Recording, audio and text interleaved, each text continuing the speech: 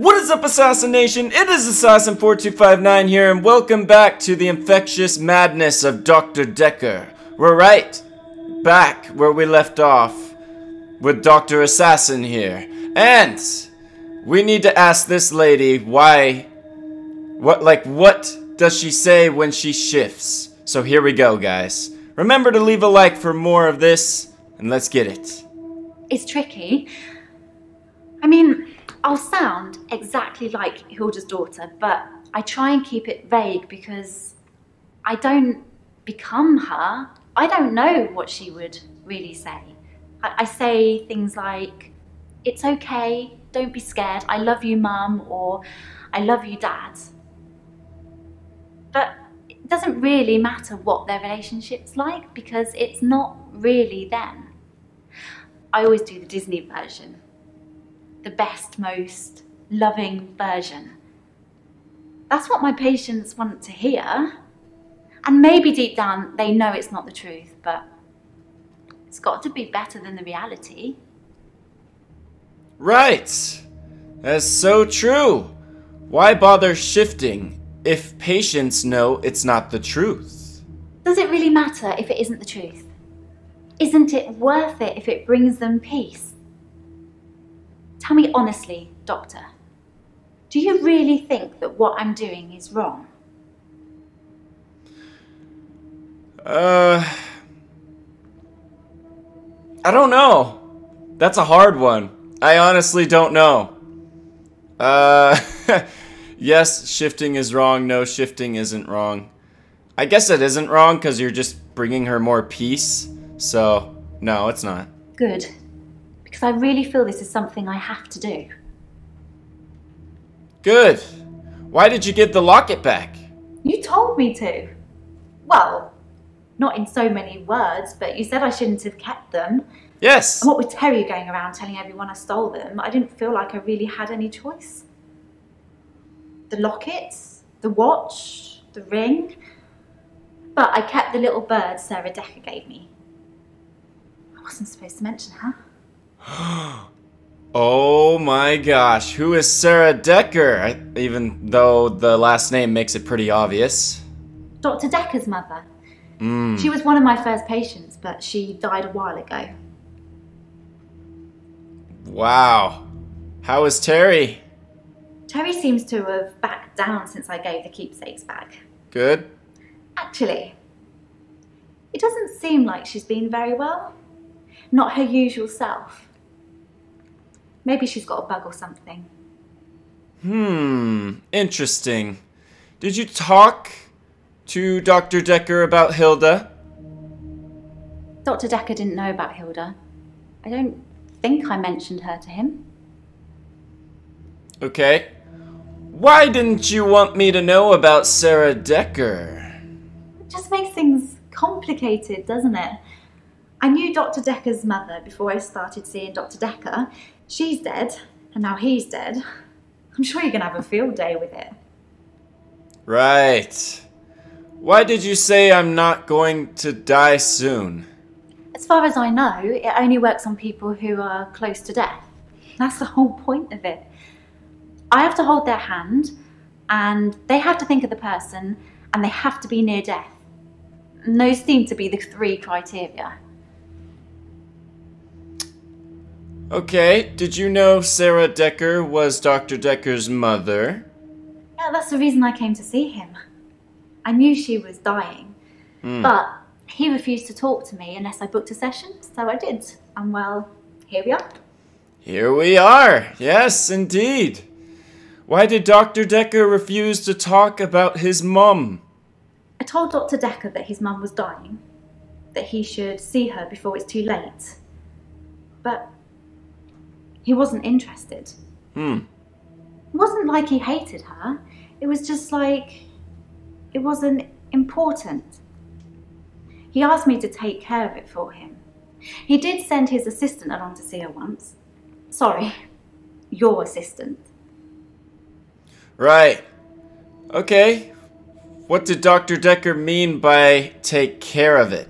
It was about the second, third session we had. He said he could tell that I was a good person, that I wanted to help people and that I should think really hard about how I could do that. That's how I discovered shifting. Oh, so that's how you discovered shifting. Okay. I see. Got it. Was it Dr. Dekker's idea for you to shift? I think Dr. Dekker showed me something that was always there. I've always wanted to help people. I hate to see people suffer. I don't think Dr. Dekker made me into a shifter, but I don't think I'd be doing what I do if it wasn't for him. His mum was one of the first ones I tried shifting for. Oh, shoot. Did you shift for Sarah? I didn't really know what I was doing that first time. I mean, I didn't actually expect anything to happen. I just thought, what would really help this woman? I thought maybe she would just imagine that he was there. But it actually happened. I changed into him, Dr. Dekker. What? It blew my mind. Yeah, that's pretty crazy. I'm gonna ask someone another question now. Hey, Mariana. Did you know anything about the paper spike? Because that's what we're on right now. Dr. Dekker used to put my checks on that thing. I guess someone thought they weren't getting value for money. Yeah, I guess so. You mentioned checks? I actually don't have a lot of money. Sometimes a therapy check would bounce, but Dr. Dekker would be okay with it. Oh, my checks are fine though, don't worry. Well, that's good. That's good. Do you have any money problems? I'm not broke. Men buy me drinks at bars though. Sometimes I'll get away with not paying at restaurants. Isn't that how it is for everybody? Uh, I think. Do you often go to bars and restaurants? I mainly like drive throughs. I don't like crowds, and I find it difficult to stay in the same place for too long. I guess I'm a fidget. Right. You dislike crowds, but visit nightclubs? Crowds at nightclubs and bars are different.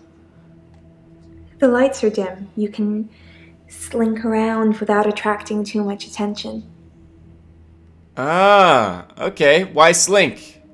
Sometimes I'll kiss a guy in a club, and then he just follows me Oh, wherever I go. It's creepy. yeah.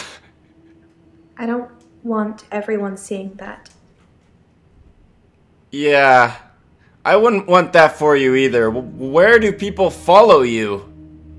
They follow me wherever I go. Anywhere. Where do you think they follow me, Doctor? I don't know. what happens after people follow you?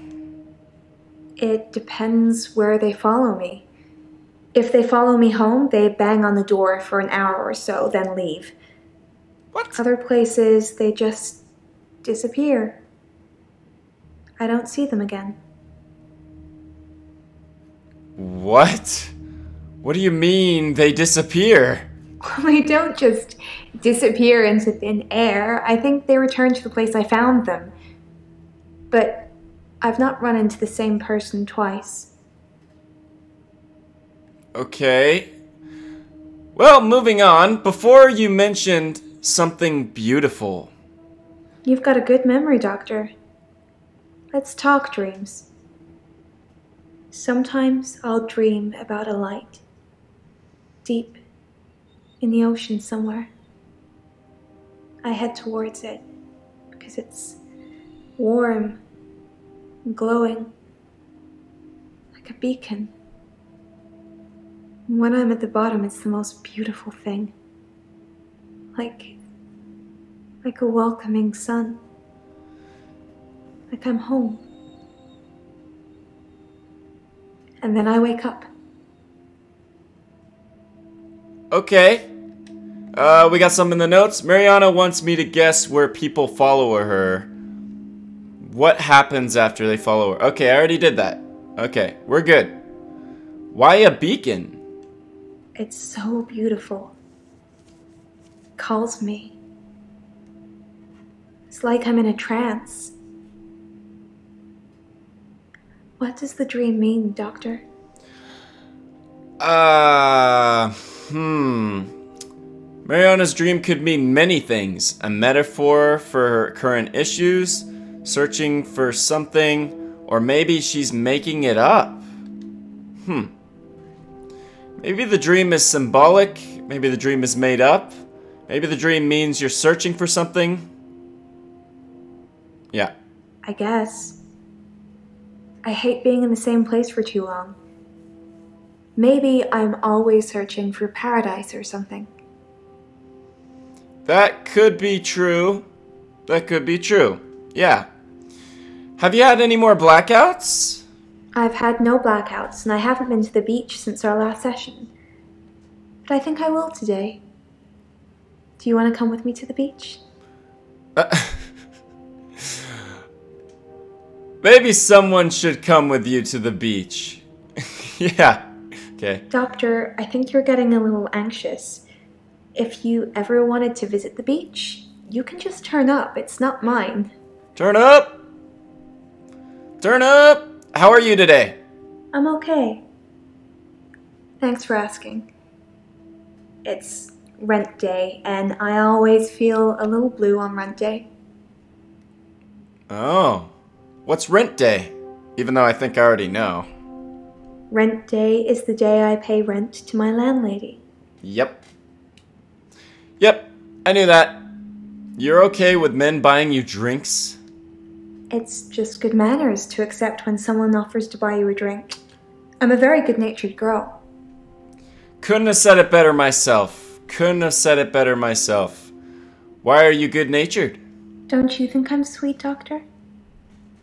Yes! I think you're very sweet. Yes, you're sweet. I think you're falling for me, Doctor. No, don't say that. Don't let that get in the way of helping me. I won't. No, I will definitely not let that get in the way of helping you. I am a doctor. I am Dr. Assassin, okay? I can do what I can to help people. Do people ever follow you home? Yes. They follow me home. They're silent. It's like a trance. Uh, okay, do they follow you to bed? There was one guy, a real gym body. I let him into the bedroom, but nothing. Nothing I did would stop him just staring at me.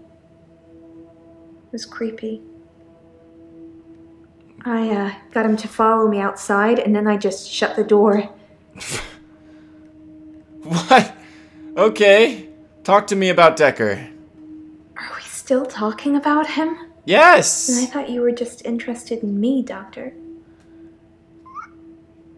I am, but I'm also interested in Dr. Dekker's murder. So, yeah. Did Dekker visit you at home? Dr. Dekker suggested home visits. I think he was probably checking up on his investment. You're not thinking of doing home visits, are you, Doctor? Um.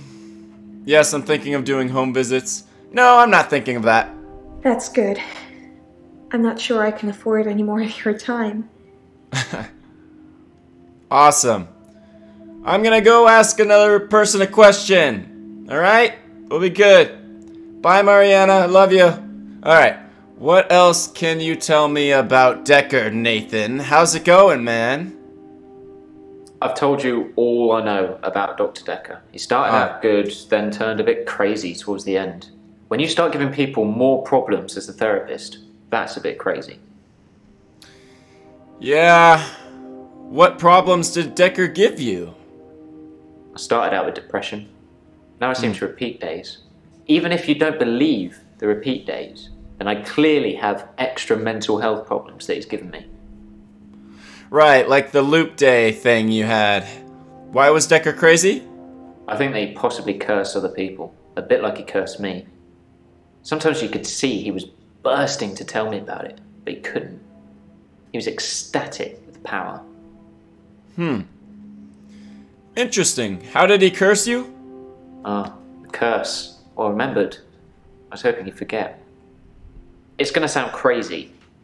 Dr. Dekker said I would never be able to move forward until I came to terms with my grief. And so from this point on, I start to relive the same day over and over again until I made something of it. I believed him. Ah. Why did you believe Dekker? I didn't want to believe him. I remember I said, You can't just say things and they happen. He laughed and laughed. I think he was going mad. He said he'd give me a demonstration. Okay, what demonstration? He held his hand outstretched and told me to look at the flame. There was no flame, and then there was. He was holding a flame in his hand that had come out of nowhere, Hello? and he tried to hypnotize me to make me forget it. What the heck did I just see? There was an actual flame right there. Did you see that? You remember the flame even though he hypnotized you? I didn't forget seeing the flame. He wanted me to forget it, to forget it all, but I didn't. For whatever reason, he couldn't undo what he'd done. I was scared. I pretended like the hypnosis had worked. Wow. Why were you scared? I was scared what Dr. Dekker would do to me if he found out I still knew. So I hmm. had to play along, keep coming to the sessions, pretend I hadn't seen what he'd done. It was awful because I was suffering through the same days over and over again, but I couldn't talk to him about it because he'd know. Hmm. Okay. Well, how are you today? I burned the photos of Hannah. It didn't work. Oh, I suppose because the loss was superficial. The next thing I burned was the rocking chair. That worked. Oh. I've been getting rid of her stuff ever since. There was a day when I attacked a Salvation Army bin, but I gave in. what happened with the Salvation Army, bin? I accidentally put Hannah's diary into a Salvation Army donation bin. They're like huge post boxes with a circular tray that makes sure things spill to the bottom. I tried to get in to get it back, but I gave up. Aw. Did you read the diary? I read the last few weeks of Hannah's diary a while ago. I must have accidentally dropped in some clothes for the Salvation Army bin. It's funny because I wasn't going to read it. She said she'd fallen out of love with me, that she was going to break off the engagement, that she didn't love me anymore. I regretted it. Oh, that's so sad. What do you regret? I regretted that I mourned for Hannah so long. I regret the grief. I regret all the days I slept through because of it. Had I known she didn't love me anymore, things would have been different. I, I'm a bit angry now. If I had that day over again, I'd, I may just still pull out in front of the driver. Hmm. Wow. Alright. Shall we talk about Hannah? Can we maybe not talk about Hannah anymore? Okay. And thanks for the dating advice, by the way. Yeah, you're you're very welcome. Did you follow my dating advice? You told me not to look for anyone else until I was ready. So I didn't. Good. I've just been sitting at home, reading Hannah's diary, stewing. I ordered That's- a pizza. Nice girl delivered it. Uh-oh. Nice girl delivered it. Okay, we're good. Alright, now it's my turn. Now it's my turn. Uh, do you know anything about the paper spike, Nathan? I didn't notice Dr. Dekker had a paper spike. I haven't really seen more than a foot in front of me since Hannah died. Oh. Okay, why did Dekker want you to forget? He'd become bored of me, so I got much of my insight from calls or messages he'd take during our sessions. Hmm. I think because he hypnotized me, he didn't want to play with me anymore. So I got basic therapist. Ah. What's a basic therapist? He told me lots of people get depression. To become more active, to see more people. And although he wouldn't always be there to listen, Jaya would be. Oh. Jaya? Did you know Jaya well? Yeah, I talked to her quite a lot. I'm not sure how many days of that she'd remember. She seemed to care, which is more I can say for Dekker. Wow. Notes. Nathan says he talked to Jaya a lot. I should ask her. Yes, I should. Did you kill Dekker so you wouldn't have to suffer through repeat days? what the crap? Tell me more about the pizza girl. Yeah. It took a week of days to get that pizza girl to smile. And you know what did it? A tip, as much as the pizza cost. Wow. So money does make you happy. Uh, no. No, it doesn't. I'm not gonna ask that question, so I'm moving on. Alright. Jaya! How are you today? I'm fine. I'm ready for my grief counselling. I emailed you Mariana's address. I don't know why you'd want it. I suppose you're going to start doing home visits now, like Dr. Dekker? Uh, home visits? Uh, why would I want Mariana's address? Doctor, if you don't want it, don't text me and ask for it. What? It's alright. I don't mind doing menial tasks for you. Someone has to do them. I asked for Mariana's address? I guess I did like her. Oh man, Assassin likes Mariana. Hey, calm down, comments! Comments! Calm down. Hey, no, no. Home visits? Yes, Dr. Dekker started doing home visits for Mariana. He said she couldn't concentrate properly in his office. I hope you're not thinking of doing the same thing. I need you right where I can see you. Yeah, yeah, I'm, I'm not. Are you spying on me? Shall we talk about grief today? Any news on Ben? Tell me about the paper spike. Anything else to share about Dekker? Uh, any news on Ben? I think that's all settled now. Yay. We are agreeing to pay Ben £5,000 and he's agreeing not to say anything about what he saw. Wow, okay. Sh- what did Ben see? He thought he saw a creature Huh. coming out of Dr. Dekker's mouth. Well, at least that's the reason he's given for not emptying the bins that night. Either way, it's not the kind of publicity that we need. Shiny, happy, sane people.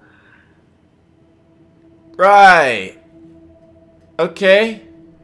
Anything else to share about Dekker? Some mornings I come into work and still expect him to be here. Sometimes it feels like he actually is here, watching over me. Oh. We had a connection. It's gone now, though. You can't have a connection with the dead, can you? Not for too long, anyway. No. No. No, not really. I should ask Mariana about Dekker's home visits. Yes, that'll be the next day, I'm guessing, though, right? Uh, I'm guessing that'll be the next day. Uh, shall we talk about grief today? Oh, wait, no, no, no. What connection? Dr. Dekker asked me to have dinner with him for Valentine's. I refused, obviously, because you don't sleep where you eat or something like that. But it was flattering, especially with competition like Mariana around. Oh, shoot.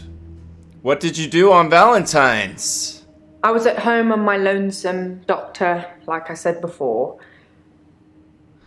Alright. Alright. Is Mariana competition? Sorry, I didn't mean I was competing.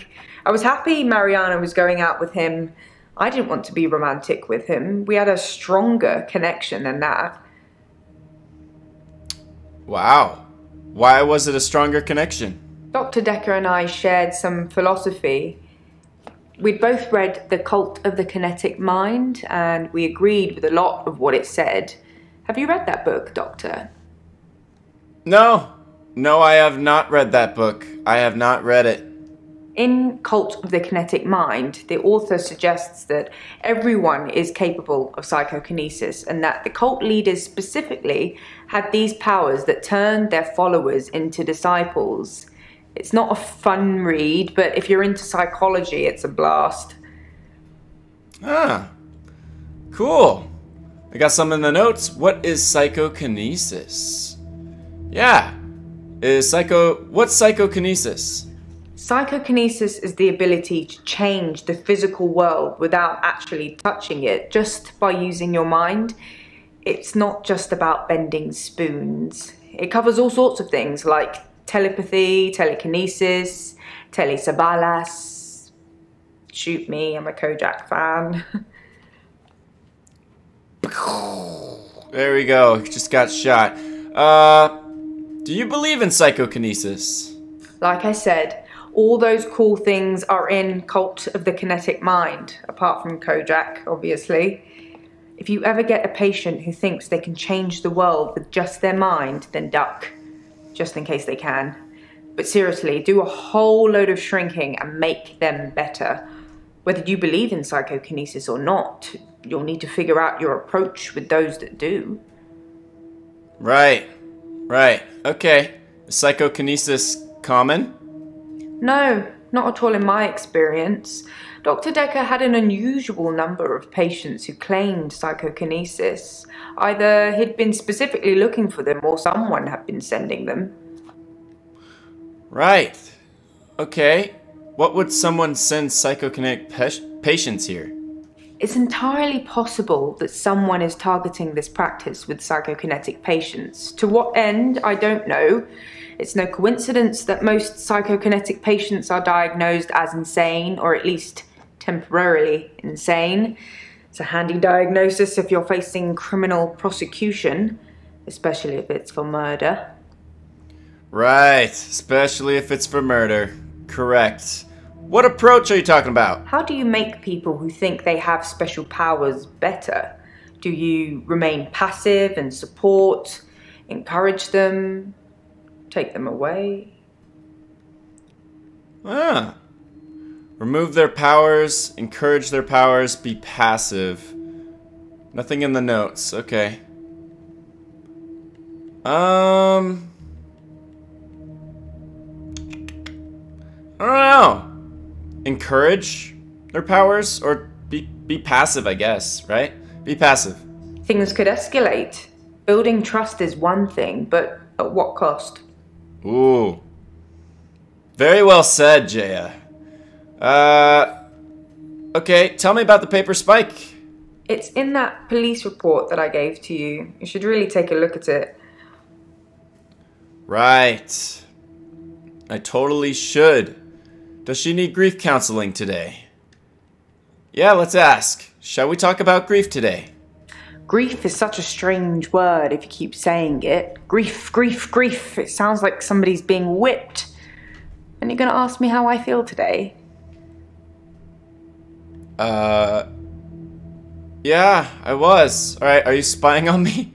Checks and balances, Doctor. Somebody needs to be watching the watchman, so to speak. Make sure you're helping, not hindering. Right. Right.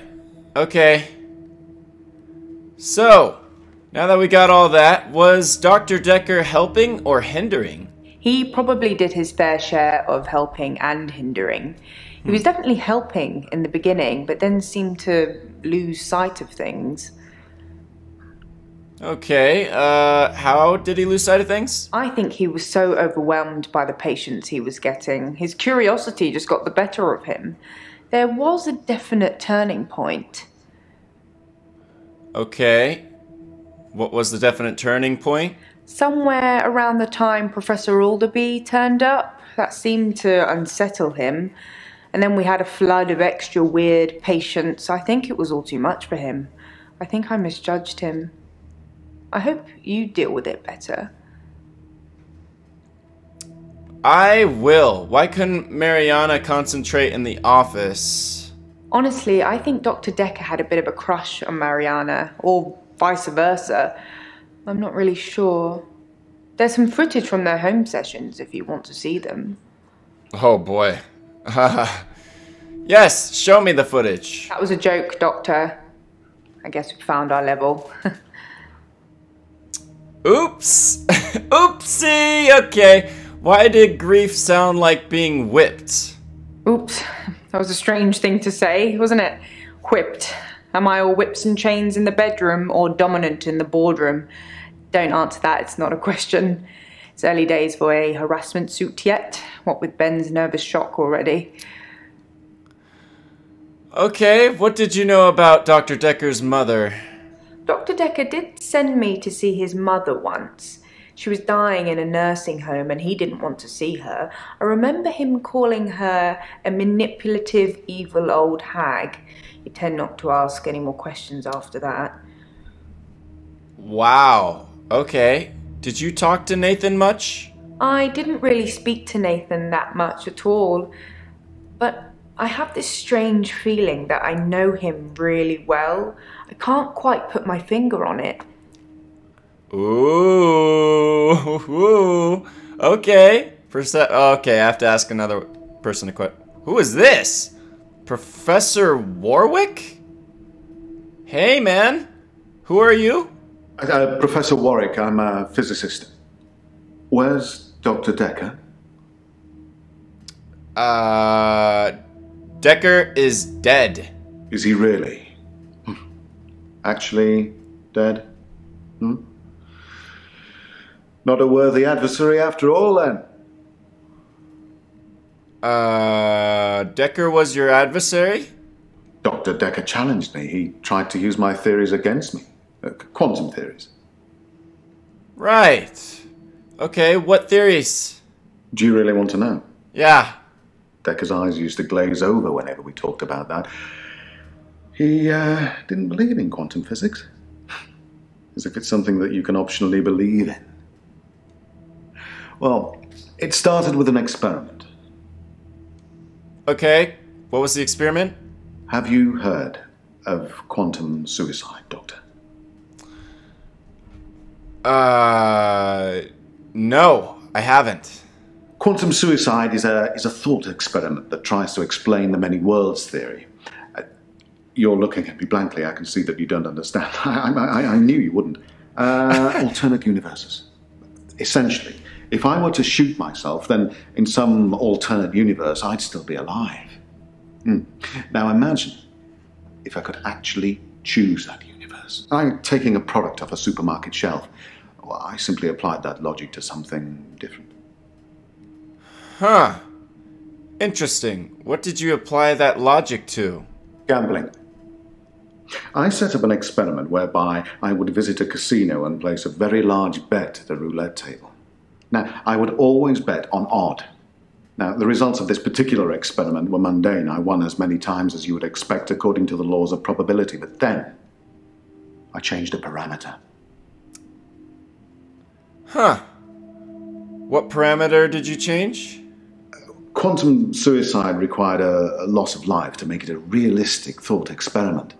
So I simply upped the stakes. Now, every time I bet on odd, I would uh, place everything I had on that one spin of the wheel, and it worked. Well, for a while.